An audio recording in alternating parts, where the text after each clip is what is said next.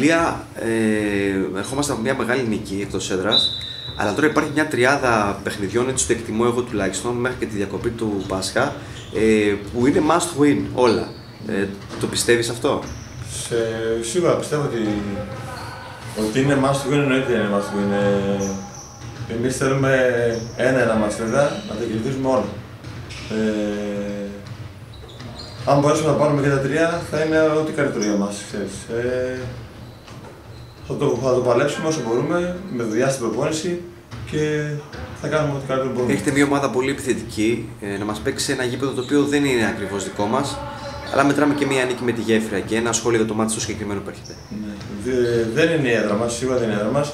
Εντάξει, εμείς σε λίγο πολύ το ξέρουμε το γήπεδο. Είναι σχετικά δύσκολο γήπεδο για το αντίπολο πιο πολύ νομίζω. Ε, Εμείς ήδη με τις προπονήσεις που κάνουμε εκεί πέρα το βρίσκουμε ρε παιδί μου τα, τα πατήματά μας στο γήπεδο. Εντάξει, ε, πιστεύω ότι λόγω ότι είναι και λίγο μικρό το γήπεδο, λίγο πιο έδρα μπορώ να πω, ε, θα βοηθήσει εμάς περισσότερο. Είχαμε χάσει το τελευταίο λεπτό, εντάξει, κάποια δύο άρχιε στιγμές, δύο άμυνες, μια... Εντάξει, πιστεύω ότι ε, όντως χρωστάμε κάτι, χρωστάμε μια μεγάλη νίκη, ναι, παρακάνει μια μεγάλη νίκη.